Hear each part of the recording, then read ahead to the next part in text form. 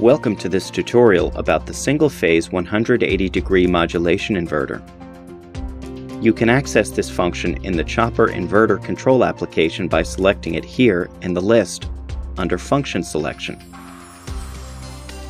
The single-phase 180 degree modulation inverter is simpler than the single-phase PWM inverter, but has exactly the same electrical diagram.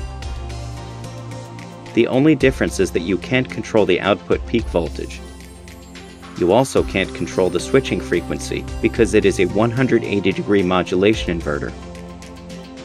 This implies that the output AC voltage has a square waveform, which is not suitable for every load. However, this inverter has a much simpler command than a PWM inverter, and is thus cheaper. Please refer to the video about the single-phase PWM inverter for more explanation and a demonstration. Have a nice day!